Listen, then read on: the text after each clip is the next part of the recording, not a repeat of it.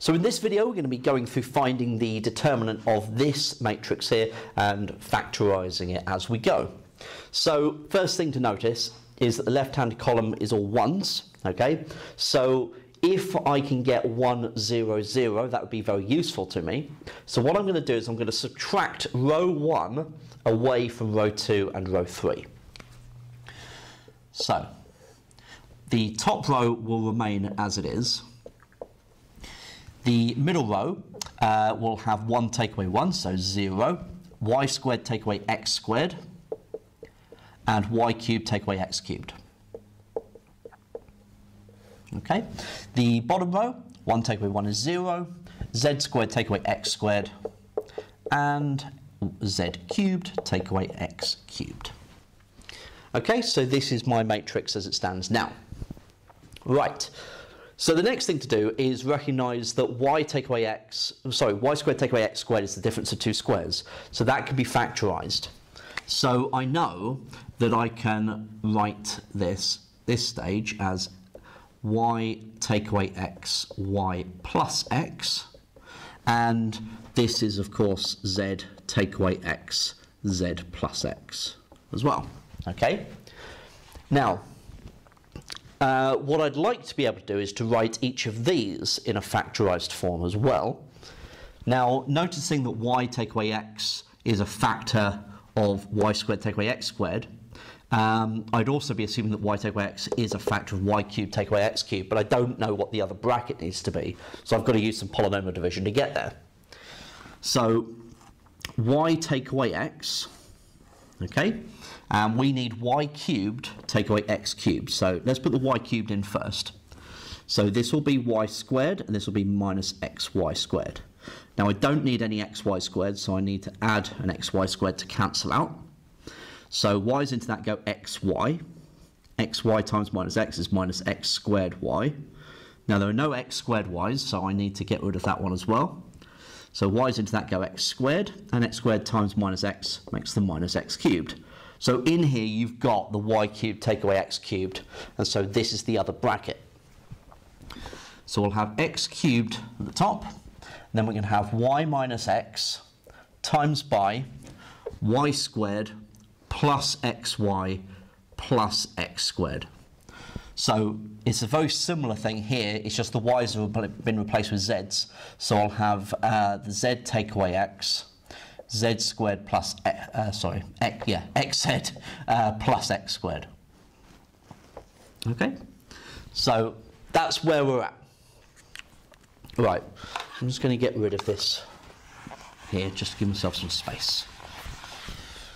Right, so now I can factor the y take away x and the z take away x out of those two rows. So I'm now reduced to y take away x uh, z take away x, and then I've got 1, 0, 0, x squared, y plus x, z plus x, and uh, x cubed, y squared plus xy plus x squared, and z squared plus xz plus x squared. Right, okay. So next thing um, that would be quite useful, I think, um, would probably be to get rid of these plus x, the plus x's that I see here. Um, I've got some extra terms because I've got these common terms of the plus x in both those two rows and the x squareds there. If I do uh, row 3 and subtract row 2. So let's just see how this simplifies. Okay, so I've got the 1, 0, 0 still. Then I'm going to have the x squared, y plus x. Then I've got z plus x take away y plus x. So I'll have z take away y. Then I've got the x cubed and the y squared plus xy plus x squared. Then I've got z squared plus xz plus x squared, so I'll still have the z squared and the xz.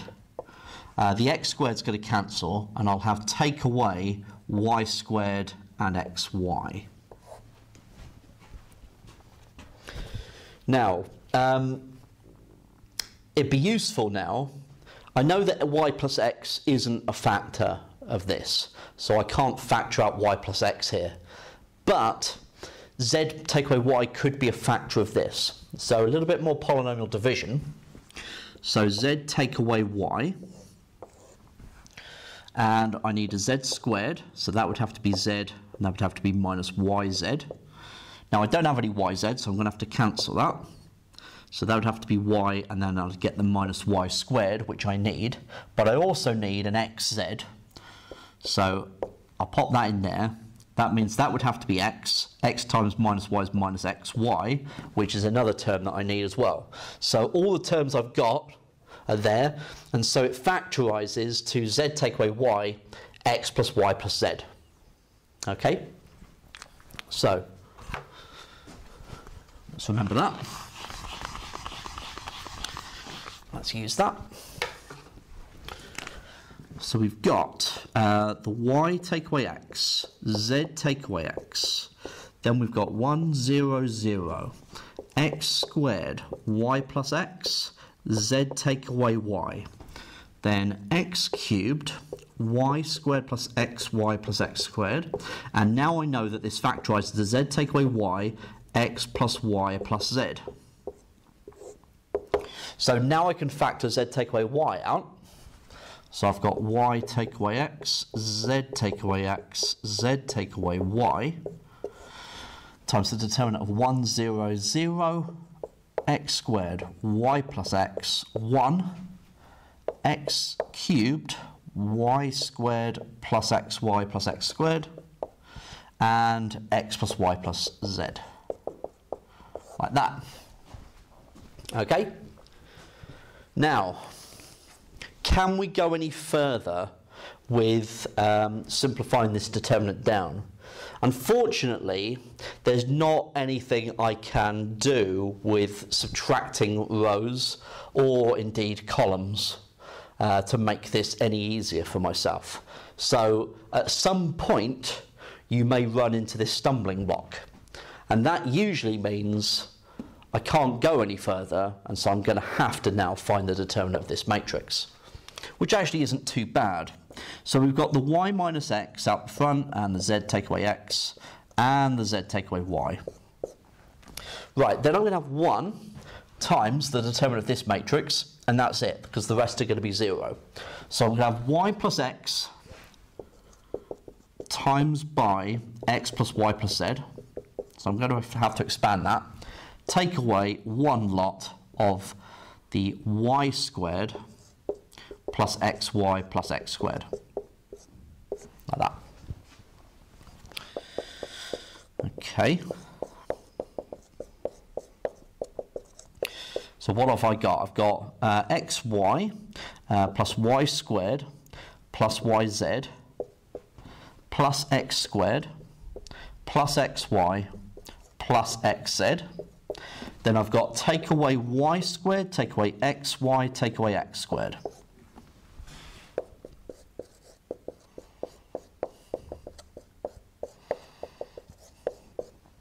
Okay, so I've got the x squareds are, are going to cancel, the y squareds are going to cancel, and an xy is going to cancel. So I'm going to be left with just the xy, uh, the xz, and the YZ. And that's it. That's as far as you can go. Okay? So with this example, it's really about going as far as you can and then you've got to take the plunge and then uh, expand out what you end up with.